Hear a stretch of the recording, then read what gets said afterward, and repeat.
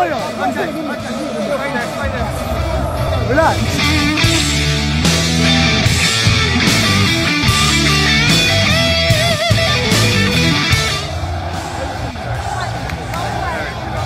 think Eric Dier did something that we professionals we cannot do.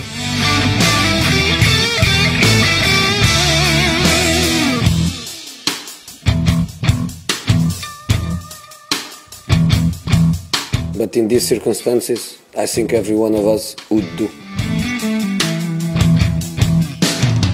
Because when um, somebody insults you and your family is there and your family gets involved with the person that is insulting you,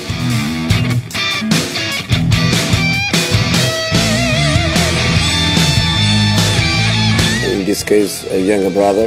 I think Eric did what we professionals we cannot do, and uh, but I repeat, probably every one of us would do.